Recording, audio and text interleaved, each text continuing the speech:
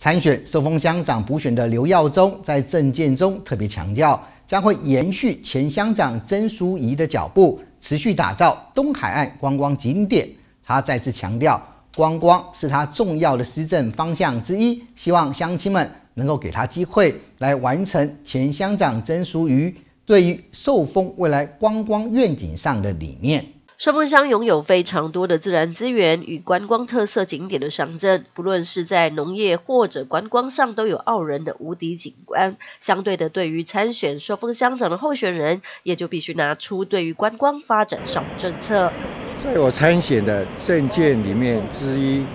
有有一项啊，在台十一线漂亮隧道旁的旧有道路，打造出观光平台的景点。去年我的内人哈曾淑玉乡长已经有提出活化旧有的闲置的道路上，打造出观光产业的平台。在花莲县除了呃那个泰鲁阁峡谷之外，创造出我们花莲最亮点的第二个景点，增进我们观光的产业，促进我们经济的发展。一百零八年度是不乡公所就请了规划公司规划跳浪段腹地。以台十一线十九公里段为中心，在旧路延伸的范围约一点二公里，作为活化的空间。我们希望在这里能够打造一个常态性的一个日出节，啊，来结合我们原住民的丰年祭，还有等等的一些活动，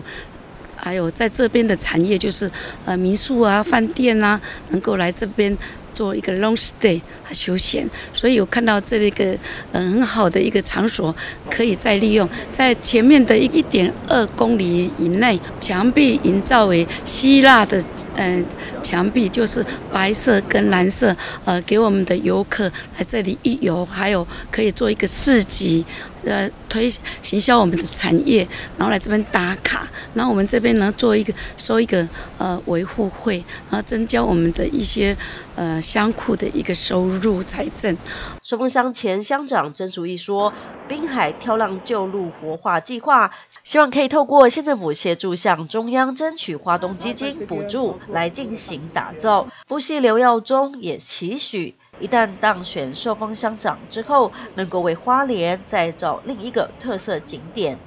记者林杰寿丰乡采访报道。